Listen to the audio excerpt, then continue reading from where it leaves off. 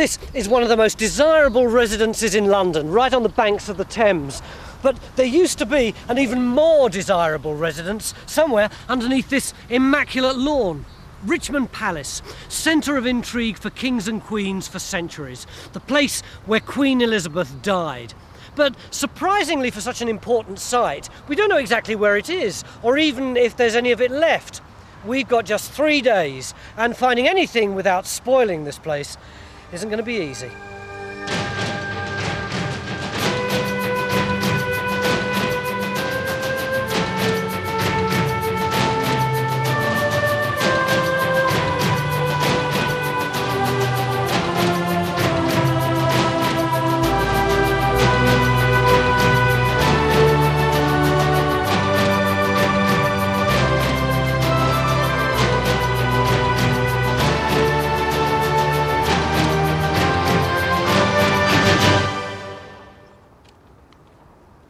So all of this was the palace. Yeah, fantastic, isn't it? Amazing All building. these pinnacles on the top.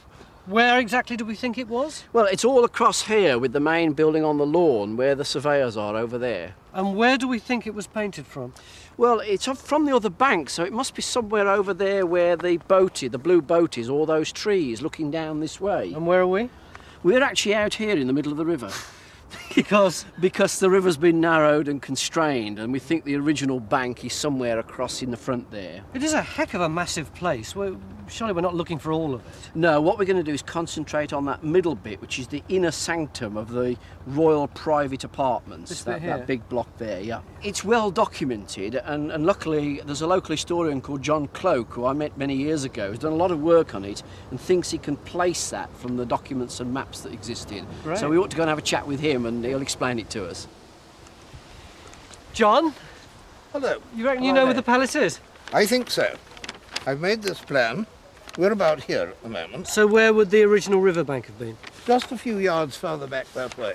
Sort of here-ish somewhere? Something like that, yes? And where would the palace itself?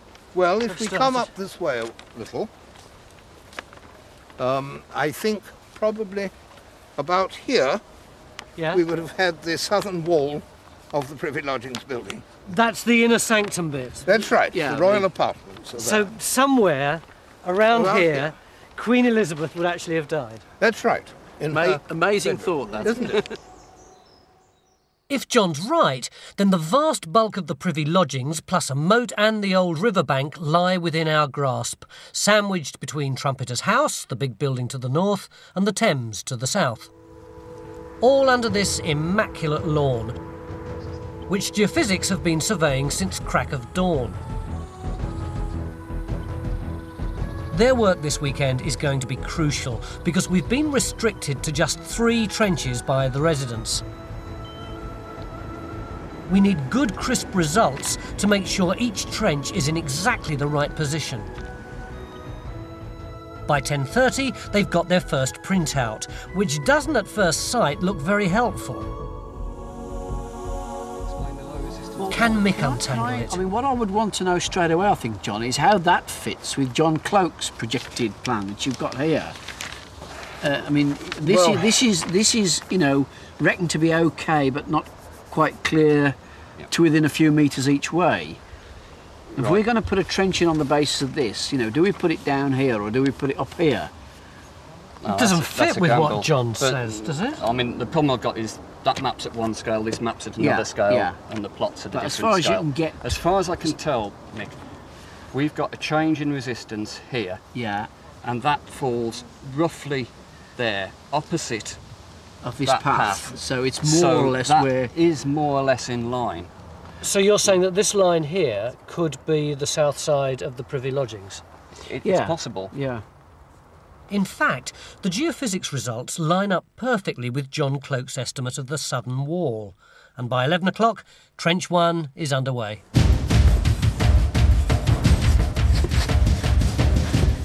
Anxiously looking on are the residents of Trumpeter's House, Baron and Baroness Van Dedem and their neighbour Mrs. Franklin. This is their lawn we're mucking up. One of the questions we hope to answer this weekend is what the Privy Lodgings looked like when Elizabeth I lived here. This is harder than it sounds, because there'd been a palace at Richmond for nearly 200 years when she came to the throne, and it had been rebuilt and altered several times. The first two palaces were medieval. One built by Edward III in the 1300s, and the second a complete rebuild by Henry V in the 1400s. Henry VII, the first Tudor, had to rebuild much of it again after a fire in 1497. And his son Henry VIII may have altered bits of it as well, but we don't know whether the Privy Lodgings building was affected by any of this. So when Henry VIII's daughter Elizabeth was queen, did she live in a medieval building or a Tudor one? And then the towers of this excellent place are turreted and pinnacled. John Cloake has teamed up with Simon Thurley, one of the country's leading palace experts, and they're trawling through the contemporary documents for clues. You've got some exquisite pictures of all that. Yes, we have, and they, they tell quite an interesting story. This is the Elizabethan view by Wyngaerde, and what it shows is what this looks like in essentially a brick building. And we know that Henry VII's buildings were of brick, and that's one of the important features of it. It was one of the first brick-built palaces. But if we look at this painting, we'll see it tells a different story. Here are Henry VII's kitchens to one side, all of brick, but the main lodgings are of stone. And so what we're looking for, if we're going to try and find the main lodgings, are the stone lodgings, which, in my view, seems to indicate that they were, could well have been the same lodgings that Henry V built himself. It's at this point Trench 1 hits part of the building, just where both geophysics and John Cloake thought the southern facade of the Privy Lodgings might be, is a wall. Brilliant. But it's not stone, and it's not medieval. I Yes. Uh, just handed this brick on Oh, pa- wow. passing the trench. What do you think of that? Well, I don't know. It's that's- it's that's. Oh, what I say is that's that's rather difficult to do. Bricks? This, this Bricks? One. Bricks. Bricks. Bricks, Yes. bricks, good, bricks. Where's this come Well, from? This comes Just out in of there, literally. Yes. It's just coming It's out. It's not a hole. What a pity! It's not Not quite, a hole one. We haven't got. yes, might I mean, just obviously, the critical thing is trying to get a measurement of these because we can tell. I mean, Henry VIII had had a series of sort of spec, you know, specified brick sizes, and so that'd be handy. But it looks like a Tudor brick to me, wouldn't you say? Yeah, oh, absolutely. It's got the right That sort of dimensions to Yep. it. Yeah, you haven't got a ruler on you, so we can just get a get a sort of rough measurement of that, have you? Yeah, now that's quite interesting. Now that that's an eight and a half inch length, width four. Now, if this brick was at Hampton Court, that would be a Henry VIII brick. Right. Definitely. Not a Henry VII, a Henry VIII brick. Mm-hmm. If it were at Hampton Court. So there's something for us to go on with, to begin good. with. Right. That's wonderful. Well, it'll be great when we get There are more Tudor bricks in the wall, though they're a different size, and Beric and Simon agree it was probably built by Henry VII. Just after lunch, and Mick's having a ball at Trench 1. He and Phil have got a kind of archaeological Lego kit to play with, as stone after stone comes out of the ground. Oh, look at that. That's a different size window too, isn't it? It's a different. Well, it's Is yes, it, or is yes. that the edge? That's No, the no, it isn't is- it is a window, That is a window because- there, but yeah. there ain't one on the other side. Well, we've lost So it. that's the we? So that, edge that rather is the edge of the yeah. window. Yeah, so that's that's this bit that goes There, there, and then that bit then goes that in bit there, goes there. and then you've got to have at least another, one, of Another one of those those. over Oh, there. there. We were trying Yeah. to. Um, Mick! Hey, you're not going to believe this. We've got a complete palace here. Look at this lot. That is amazing. We've got lots oh, of bits of window, sides of window, bits with the where the- we've even got the lead and bits of glass out of it. It's very good, isn't it? Is this Queen Elizabeth's palace? Is this part of her where she lived? Where she lived, yes, but she didn't put this up. This is, this is going to be earlier. We want to know the, the, the mason's name and the date and what he had for breakfast, right? No, we can't do that. Yeah, but what is it, Beric? What's, hmm? What is this piece? Because we've oh, studied Oh, up like it? that, but we don't really understand. No, what I don't think is. it is. I suspect that's another windowsill, isn't it? Yep, it's this big stone, which is actually a sill and must have been lying down that way. It's, it's really that. That's that right. way. Yep, yep. So it's got a sill, Oh, right. and then a, a drip below it, so that Oh, the water would coming off the front would drip down and running down the Ah, wall. Yeah. But what is interesting is the shape of this funny moulding here. And I say it's a funny one. It's what I call sloppy. It comes right at the end of the medieval period when they're not cutting their curves as precisely as they used to. So this is definitely late, not from I would say an so. older yep, palace. Yep, I would say this is well. It's it's much more likely to have gone in in the re in the remodelling or whatever happened in Henry VII's reign. Other parts of the Tudor window have survived too. Fragments of painted glass. and this bit of lead, which would have been used to tie the panes of glass into the frame. So that's Tudor windows to go with a Tudor wall. But that doesn't mean Henry VII rebuilt the whole thing. He may just have altered bits of it. We won't know for sure until we've dug more trenches. Which should be quite soon, because John and Louis have nearly finished their second area up by Trumpeter's house. It's tea time day one, and we've had the most stormingly good first day. We've got Tudor coming out of that trench like there's no tomorrow. But our job was to try and locate this palace somewhere in this grass. And in order to do that, then we've got to find a second edge, which is why we're going to have to dig a second trench, which hopefully is what Phil and Mick are trying to sort out now with John. What have you got? Well, a few more blobs. One of which, the white diagonal, is a modern cable. But there are also a number of parallel lines which might be walls or even the moat.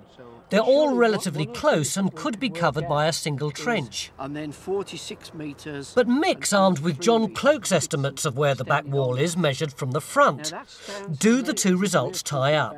Only one way to find out. I've got a tape here. I'll, I'll bring up some measurements. Yeah, you need at least 50 metres, Phil. I, I wa- I want measurements between 30 and 50 metres. Then go up to 46. 16, right on the croquet hoop. Yeah. In fact, the geophysics anomalies are much further north than John Cloake's estimate. And to cover both would mean a trench at least 15 metres long, which is clearly not feasible. So Mick's got a problem. So what we've got to decide is whether, if you like, we centre it on that, or whether we go rather more this way or rather more that way.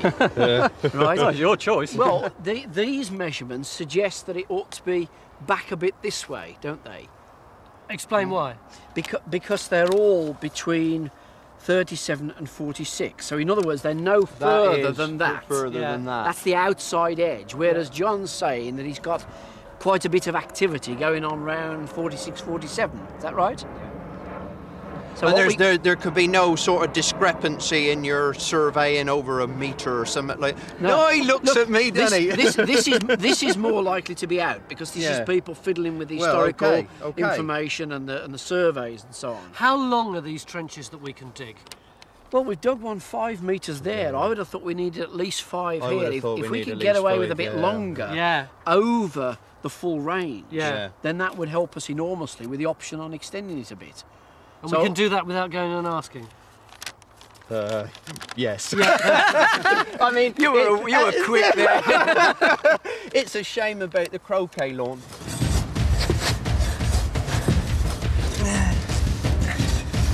And so the historian's measurements are shelved and the trench goes in on the geophysics results. Work of art. Which is lucky, because the historian's estimates were based on the distance between front and back walls. But the front wall in Trench 1 from which they took the measurements is not apparently the front wall after all. It doesn't really look thick enough to be the main outside wall of the, the whole palace, but it may be one of the windows or the galleries or something butted onto the outside of it. The colour of this earth is completely different on this side to that side. Precisely, that's why we know it is a it is a wall that separated the inside of the building from the outside. Which raises two questions. First, where is the front wall of the palace? And second, what is the Tudor wall in Trench 1? Well, what it it could be is this extension on this drawing of 1638 by Hollar. There is a porch or a bay or an extension sticking out from here. And I'm wondering if what we've got is, is that wall there. That's exactly where our trench is. So we've got to persuade the others to actually extend the trench a bit to pick up the real wall. That's right. I think we need to go three, four, even five metres further Oh, north to, to Oh, test that well, we'll see hypothesis. whether they'll buy that.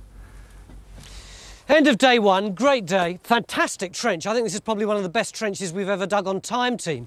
What with all these finds and this Tudor wall, which no one seems to think any longer is actually the front wall of the palace. They reckon it's the remains of some Elizabethan conservatory or something. They're now betting that the front wall of the palace is around here somewhere. So we should be able to pinpoint it tomorrow, and they're already taking the turves off that trench over there. So, with a bit of luck, we'll be able to locate the back wall, and then we'll be halfway to placing exactly where this palace actually sits on this lawn.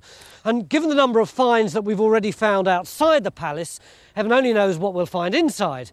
Join us after the break.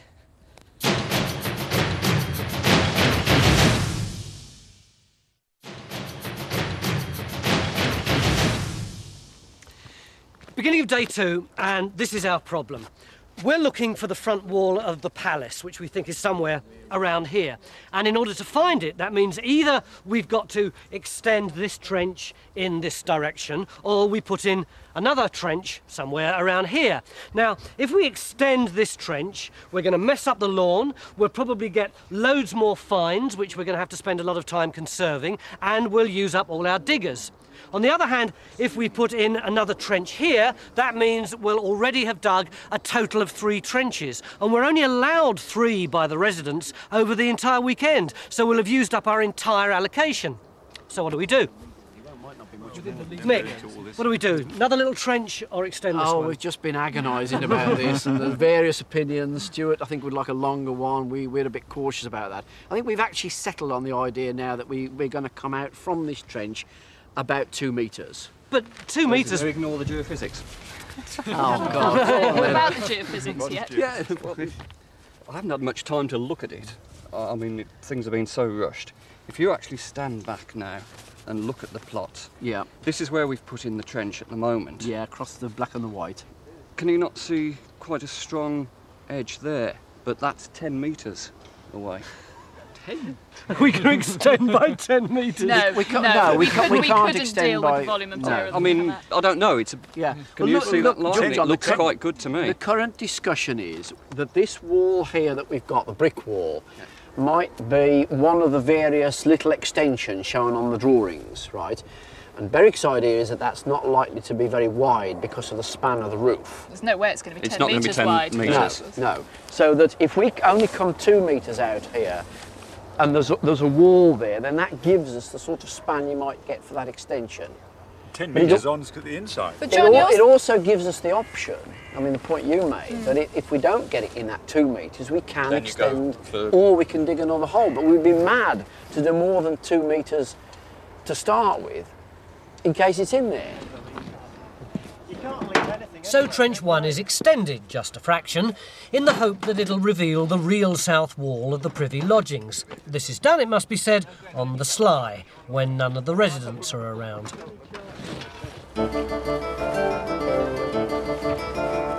Mrs. Franklin, in fact, is busy elsewhere, with Carenza and perfume expert Maria Lis Balchin. Maria, we've got this recipe from 1527 for damask water. It's from Brunswick's Small Book of Distillation. Do you think you could make this for us? Well, I shall try. Well, we've got a list of ingredients here, which we're hoping you might have in your garden, Mrs. Franklin. Um, walnut leaves. You could reach that lower branch. We have to scrunge it. Oh, that's good. You smell that? Gosh, it does, doesn't it? Citrus. Amazing smell. So that's the lavender. Oh, it smells good. That's thyme. Hmm. Some marjoram. Now, doesn't that look pretty? Bay and cypress to finish. No, It's amazing you've actually got everything in your garden here, Mrs. Franklin. Everything you want, apparently. yes. It's going rather well on the lawn too. Phil's uncovered another brick wall, slap across the middle of trench two. That's what it's sitting on there. And this is a serious wall, three times as thick as the tiddler in trench one. You've got what you called a floor here? This, so this could be an interior floor of the palace? I would, I would think there's a reasonable, reasonable bet. Yeah. And are you prepared to say that this is probably the palace wall, the back palace wall? I, I, I, I'm, yeah, I'm beginning to put money on it, and I don't normally put money on anything unless I know I'm going to win. At last, after yesterday's false dawn, Trench 2 has given us our first main exterior, the north wall. Two more, the south and the west, and we'll be able to locate for the first time the privy lodgings of Richmond Palace. And you see where the Baron's house is now? Yeah. What would have been there in Tudor times? Well, can you see just above it? There's there's a, a bit of an arch showing up. Just there? Just over there. Yeah, yeah. You would have come through that. That's one of the surviving bits of the palace complex into a big courtyard, which also came under where the big house is, and that had a fountain in the middle of it. So there was a there was a sort of square area with with uh, buildings around it before you got to the bridge that went across to the private apartments of the palace. And certainly there was a large orchard over to uh, the left-hand side there where that new uh, garden, very nice garden's been laid out. But there were also gardens and orchards over to the right, uh, down beyond those trees in front of us. Uh, and that's where things like the tennis courts were, which was a thing that was catching on at the time. There were sort of indoor and outdoor tennis areas. The Kings of England had so many royal palaces. What is it that makes this one so particularly important, Simon? Two kings tried to make it their dynastic seat. The first one was Henry V. Um, he died halfway building through building it, but um, Henry VI completed it. And then there was Henry VII. And there he is on the wall, not looking particularly happy, but he should have been, because he just finished building this fantastic building, and he was the one who succeeded in making Richmond into the great dynastic palace of the Tudors. Henry VIII, however, found it rather old fashioned, and it had a sort of revival under Elizabeth I. Yes. But after that, it went into fairly rapid decline, and of course was in the end bashed down after, Henry, after Charles I had his head chopped off. By midday, the morning's drizzle has turned into torrential rain. Extra planks are needed to protect the lawn, trenches are filling with water, everyone's drenched. The place to be is inside with the perfumiers. When I'm pounding these up here, how, how much do they need to well, it doesn't need very much pounding. You're just releasing the essential oils. Is that sort of ready I think for you? that's ready. Yeah? The next stage of the Elizabethan perfume making process will be familiar to anyone who's ever made homebrew gin. The crushed up plants are put into the bowl of a distillation apparatus. Add some liquid, in this case rose water, and for a bit of extra zing, some white wine, then simply turn on the heat. And then the essential oils will be liberated and will rise up with the steam right the way up here. And it'll then condense into this tube here. And in a few hours' time, we'll know firsthand what the well heeled Elizabethans smelt like. It's just after lunch on day two, and all the joy of the morning has disappeared. It's been pouring with rain. We're all absolutely soaked. And now, the wall which Phil promised me was the outside wall of Richmond Palace turns out not to be. Beric, what is this thing? Well, you can forget that because that's actually a later wall. How do you know it's later? Because it's sitting on the remains of the wall we were looking for. The wall that we were looking for sat here. It's been robbed out. Someone got there first. Someone's taken the stone from the wall to use elsewhere, and the big bits of rock that weren't usable are just chucked in at the end. And those are the things that go down there, disappearing underneath. How do you know? wall. Anyone could dig a hole and say, oh, that's where a big wall We, used we, to be. we've got a very, very good edge there, Tony. That is that is a true edge. That effectively is the edge of the foundation trench. The wall would have been built in that foundation trench. So you're pretty sure that what we've got here is the ghost of the wall that was the outside wall of the palace. I still believe it is, yeah. Or at least I still believe that's where it was, yeah. So do you owe me a pint or not? I owe you half a pint. That's all you can afford Only to price half of beer wrong. around here. A ghost of a wall is better than they've got in Trench 1. The extension has produced nothing except more damage to repair when we finish digging. So they've all decided to count this thin one as the front after all. Very convenient. Now all the effort is going into getting to the bottom of it in search of a floor.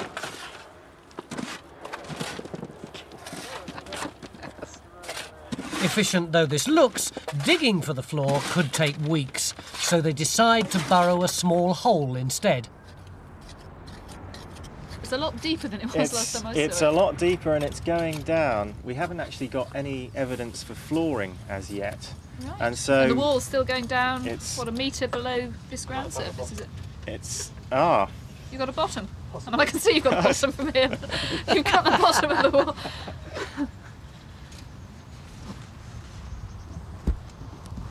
No, fussing on.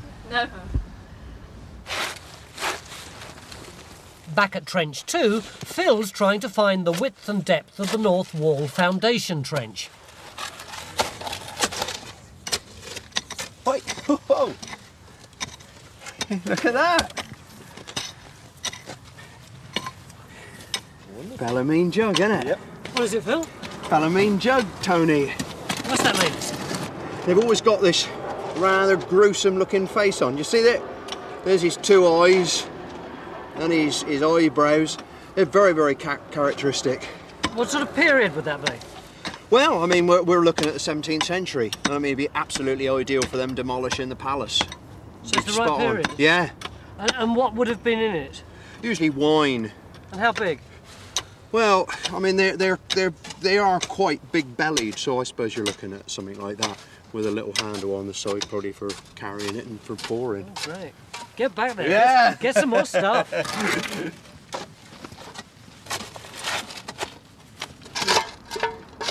It's four o'clock, and just across from Phil, a new hole has appeared in Trumpeter's Lawn. This is our third and final trench, and it's gone in where geophysics think the northwest tower of the Privy Lodgings might have been. Mrs. Franklin's keeping a watchful eye on things, so it's a bit of a relief when just inches under the surface, Mick the Dig hits something solid. Well, what about that stuff in the middle? That looks like concrete. It feels like concrete. It looks really hard. Give it a clout. Oh yeah, all right. all right. As obviously it's going to take us some time to pick that apart. It'll be tomorrow now, won't it? It's got colour in it. Mm, wonderful, isn't it? Oh, it's great. As the evening sun breaks through, Beric and Hazel Forsyth, our Tudor finds expert, are getting very excited about two pieces from either end of the site. Well, it's a piece of terracotta ornament off the front of the building. It looks almost modern, doesn't it? Well, it could be turn of the century Art Nouveau, couldn't it? But it's actually it's Henry VIII, probably the 1520s, before he lost interest in the palace, and it's terracotta, just the thing they did in those days. Very new, very fashionable. And what about this one? Well, much the same date, but the exciting thing about this one is it's coloured. The paint is still there. This blue stuff here? That blue stuff, it's beginning to break up, but it's there. And what are these leaves? Well, this is typical Renaissance design. Acanthus leaves, probably part of a long frieze. These plaques, if you like, were attached, pegged onto the exterior of the palace. So you have a decorative frieze running all the way around. Much cheaper than using carved stone. To find something like this with the paint still on it is spectacularly rare, a real triumph for Time Team. Originally, there'd have been thousands of them connected end to end, forming a blue Renaissance halo round the building.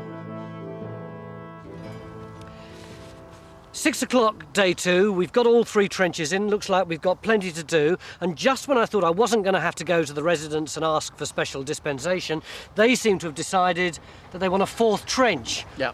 Where and why? Why are you looking at me? There, and because the geophysics have come up with some interesting data. I mean, basically, what we've got, Tony, is a linear anomaly that looks as though it could be the Western Wall. And it fits in perfectly with where Stuart says the Western Wall should be. So, where do you want to put it in? At right angles to the anomaly, just at the bottom of the bank. Yeah, about just about down there. Here somewhere? Yeah. Somewhere there. Yeah. I'll give you an exact measurement. She's here. Oh, right. Do you want to ask her? Mrs. Franklin, Mrs. Franklin? What do you want? We would like to dig a fourth hole. Uh, well, how big and where? Uh, probably Well, about show me where. five by one and a half, like the others. What? Well, just as big as the others then? Like that one down there. Prob- Probably only, probably about five metres long. Oh, well, enormous hole in there. but the thing is, this is exactly happening what I expected would happen. When Yeah. you got so far with just the three trenches, you Yeah. want to go to another trench. And then they go to another trench. And I mean, you're not going to be gone by Monday at this rate. oh, we They'll be are. cleared Oh, up. yeah, no, we have to be gone by Monday. Yeah. And, and whatever happened, I'm we- back at this work would on be the Monday. final trench. It has to be because we're Ah. all finished tomorrow evening. Because we can't go on after that. All right. Yes, okay. Then, well, I, I presume the Baron would approve. Well, we'll, we'll ask him. I think you we'll have ask yes, him as well. not, not yeah. just by law. No, no, no. We'll ask him as well. But if you're happy, we can at least say that to you. Yes, you can. Yeah. Yes, okay. Okay, that's very Right you kind are. of you. All Thanks very much. But we've got the new results for that area now. Oh. So I'll be having a look Mixed that powers of persuasion work with the Baron too. So, our fourth trench will go in, across where we think the west wall of the Privy Lodgings was, first thing tomorrow. Back in the gazebo, the damask water has been bubbling away for several hours, and the smell of Elizabethan England pervades. Can you smell it now? It, it does smell faintly like decaying vegetable matter, doesn't it? I mean, Not quite as bad as spoiled cabbage, but a little bit of the rose oil remains there. You have to be very clever to smell the rose oil through the rotting compost smell. so does one put it on? Why don't you? It, it won't burn a hole through my wrist or anything. I don't think so. Actually, that's remarkable. It's That's uh, really a lot of the rotten vegetables gone out of that. That's It's certainly better. a lot smoother, isn't it? A lot- Well, perhaps they knew what they were talking authentic. about. Satisfied with its bouquet and curious to see how much of the white wine has distilled, Maria decides to go a stage further and taste the potion. Well, let's try.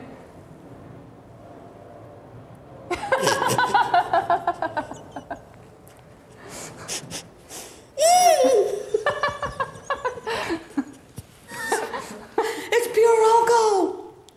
I wasn't expecting that. Oh, get the To help with all that cholesterol. Ah, If Maria had only waited another five minutes, she could have had a perfectly decent glass of red wine with the rest of us, as we gather on the banks of the Thames to celebrate a real roller coaster of a day. waders. You brought your waders, didn't you? Well, it's the end of day two, and it's been a pretty tough day, but as you can see, the sun's come out again, and hopefully tomorrow we'll really crack it in our fourth and final trench. Do you hear that, Mick? Our fourth and final trench. Oh, really?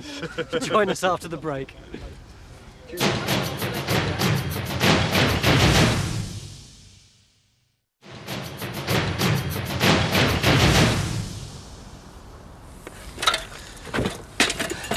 It's the beginning of day three, and there's still a heck of a lot of work to do. This is trench one, and those are the cellars that went right under the privy lodgings. And there's a lot of digging to do before we get to the bottom of them. Now, not only are we going deeper, but we're going wider as well. We want to establish this wall of the lodgings, which is why we're digging this trench. Morning, gents, excuse me. And over here, this is where we're trying to get the turn of the building. Hi, Mick. Morning, Tone. And we think we know more about this wall of the building.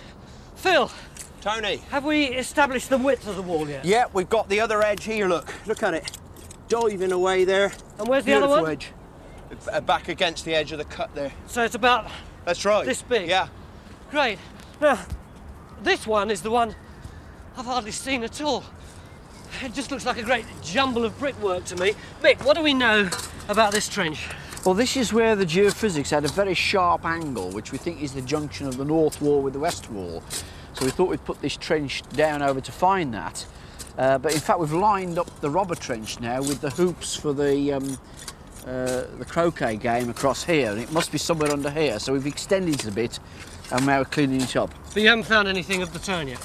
No, we've got a, a bit of an outer edge where Greg is up the corner, but it's, it's early days yet. We're going to have a bash at it this morning and see where we get with it. And can you tell me anything about all this brickwork? No, not yet. I don't, I don't, we can't see it clearly enough yet. Well, hopefully we'll know a bit more about this one later on in the day. We're going straight down to the, the other trench over there. We'll take a straight measurement. Stuart has been keeping a fairly low profile this weekend, but he's obviously onto something this morning. He's measuring everything in sight. He seems particularly interested in the distances between our first three trenches. Okay, Jenny. I'm more interested in Trench 4, the one Mick and I had to get special permission for yesterday. We hope it'll hit the west wall, and it'll be very embarrassing if it doesn't. Where do you think you might have a wall then? Well, this end of the trench we've got lots of brick rubble, and uh, we're hoping to find something like that up, up at this end. When you say you're hoping to find something, have you got any indications yet? Uh, nothing in situ. It's all just rubble. So we haven't got a wall yet. Actually, that's improved a lot yesterday. We After the success of yesterday's distillation, Carenza wants to explore further the world of Tudor perfume. She's helping Hazel make an aromatic fashion accessory called a pomander. But Hazel, what are we doing here? You've given me this, this to grind up. Yes. What, this what is it? It's benzoin, which is um, an aromatic gum from Sumatra. From Sumatra? And it's one of seven ingredients which goes to make this pomander. The others are orris, bergamot, verbena, and ambergris. Would you like to smell Where does, where does that come from? Sperm whale intestine. Oh, actually, it doesn't smell as bad as you might, might expect. Outside in the trenches, we're racing to finish the job. In Trench 1, they're still trying to find a floor, but the sides of the trench might collapse if they dig any deeper, so they're drilling for it instead. Trench 3 is undergoing another subtle expansion to find the extent of what could be more Tudor brickwork. And I'm still anxiously awaiting a wall in Trench 4.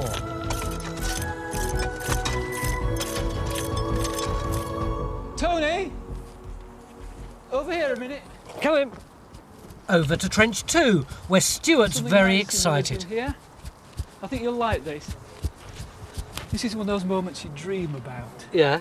What I think we've now got in this trench here, almost by luck, but based on the geophysics, we've actually hit the main entrance into the privy lodging.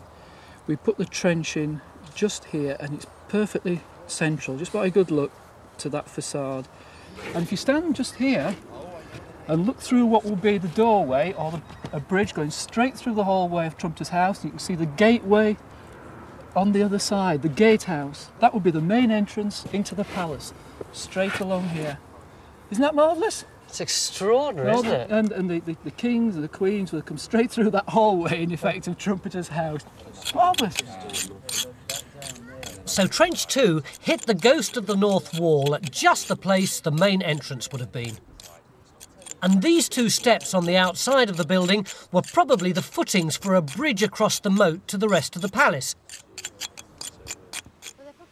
Trench 2 has also produced some floor tiles from inside the building, which could be a clue to whether the privy lodgings were medieval or Tudor.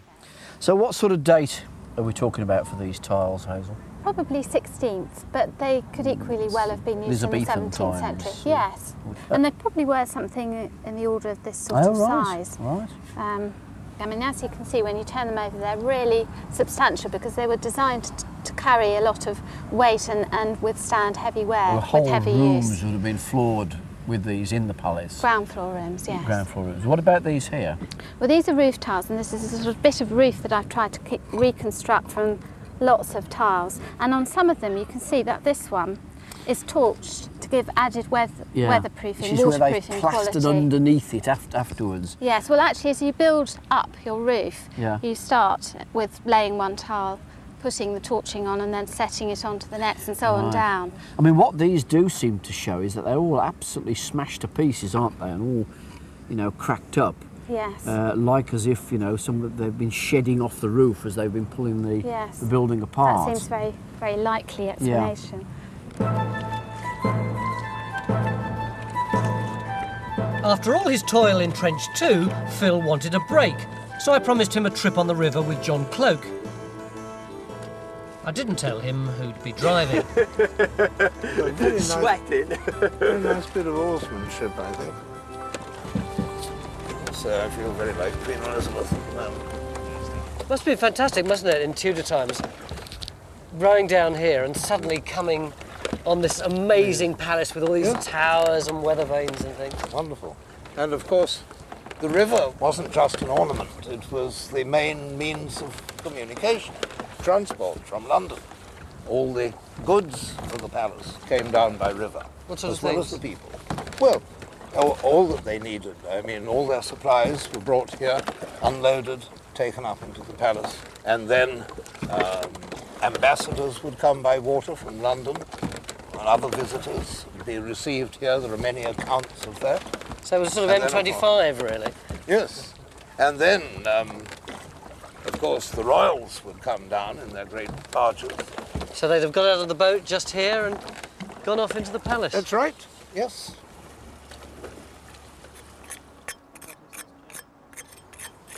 This is Trench 4, the one that we got the special dispensation from Mrs Franklin to dig. And while all the frenzy's been going on in the other three trenches all day, Jenny's been at the bottom of this, quietly scraping away, with frankly no one paying her much attention. And all of a sudden, she's come up with this. what is it, Jenny? Um, it's a very large wall. Uh, we thought it was much later initially because these bits have been added on later, but underneath it is a much more substantial wall. It's probably the west wall of the palace. So I needn't have worried. The western wall, made of brick, not stone, is right where John Cloake and geophysics said it would be, which just leaves Trench 3. My goodness me. Now, Well, well. where by five o'clock, Mick is finally prepared to reveal that he's found the northwest tower of the Privy Lodgings, and with it, a potted history of the palace. And in fact, this bit here, we're fairly clear now, is the first bit in this hole. Which the first bit? Bit that's one you're built. standing This this bit with the two sides like that, because Yes. it's got a lead drain look coming out under it. This is lead sheet. This Yeah. here. Hear that? Yeah, it do. And that's probably coming out and going that way into the ditch or the moat that runs right across the front of the Privy Lodgings here. So th- this block's first. Th- This lot here is added on to that, probably in the base of a tower. And we can see that because we've got an edge over here and the edge up against the wall through there. And it's full of stones and mortar and plaster and all the rest of it in there. So as fashions changed or whatever, it would get Right. bigger and they Right. changed the shape of So they it. fill that in. The next interesting bit is if you come round Come this round. way, look, come right Come round, round this way. here. This big stone is the outer edge of this mass here, and it probably had another big stone there and another big stone there. And at some stage that was hiked out because they decided to put a brick front on that. Again, the latest style. And what we can see about this is that the chap who built it, the builder who built it, could reach down and fetch the mortar off uh, flush with the bricks, whereas over here, probably because he couldn't reach, he's left the mortar oozing out between the bricks. And so original ground surface was there, and above that the bricks are rounded and smooth where they've been worn because they've been out in the air and they've been eroded. We can't tell for sure when each of the alterations took place, but the first wall almost certainly dates back to Henry V, who built the first privy lodgings on this site. The stone fronted tower could be his too. The final brick facade on the tower could well have been put on by Henry VII when he renovated the building after the fire in 1497. As we've got this corner turret, does this mean that we can now work out the entire shape of the Privy Lodging? Yeah, we know this is at the corner of the palace, so that wall must come across here. We've got the robber trench of it over there. It comes up and joins this tower somewhere, and this then has a wall running down this side, which we're hoping to get in that trench, and that must join this tower as well. So this is right at the corner of the palace. We know that the rest of it is over in that direction. That's wonderful, incredible. And we're sorry about the disruption. Oh, never mind about that. When we came in and I saw the lawn, I was very worried about digging holes in it. And So was I. I just hope you feel it's been worthwhile now. Absolutely. So we've done it. We've tied down the exact position of the privy lodgings. Trench 4 has given us the western wall. Trench 3, the corner tower and moat. Trench 2, the north wall. And Trench 1, one of the bays in the southern facade, though they never did find the floor. And John Cloake's original estimate still looks pretty good. He was just a few yards too far south. And now he's got all this information, Steve's been able to reconstruct how the privy lodgings would have looked in Queen Elizabeth's reign. Everything we've uncovered suggests this was a brick building with only the ornamentation like window frames and door arches in stone. Much of it was rebuilt or renovated in the Tudor style by Henry VII, including the extension we found in Trench 1. And the blue decorative frieze was added by his son, Henry VIII. It would have been surrounded by water with a moat on three sides and the Thames then much wider to the south. From there, it would have dominated the surrounding countryside, an opulent monument to the Tudor dynasty. But good as it looked, it would have smelt pretty strange, judging by the results of Carenza's alchemy. Oh, yeah. What do you think of that? That's nice, eh? Try I mean, what's it supposed to do? If I had one, what would I do with it? You carry it around with you to stop you getting plague. Oh, so thank until- you. I just. But Phil, this is what the men would have worn in the, in the Tudor period. Is it Civet. for Jove? Try that. This is the men's perfume. What? Put some of that on. On? On, yes. Yes, yes. Splash it see what, see what, you think of Put it. it on you God. first. what do you reckon? Wow! Do you know where it's Back from? of the hand. no, no, no, I'm not sure that I want to know. What is it from? Anal glands of a civet cat. You've been oh. got. Well, we may have made a bit of a mess of this lawn, but don't worry because it's going to be put back good as new first thing tomorrow. Fingers crossed. But it's been worth it because now, for the first time, we know precisely where Queen Elizabeth's royal palace at Richmond stood. And I'm here, right slap bang in the middle of it.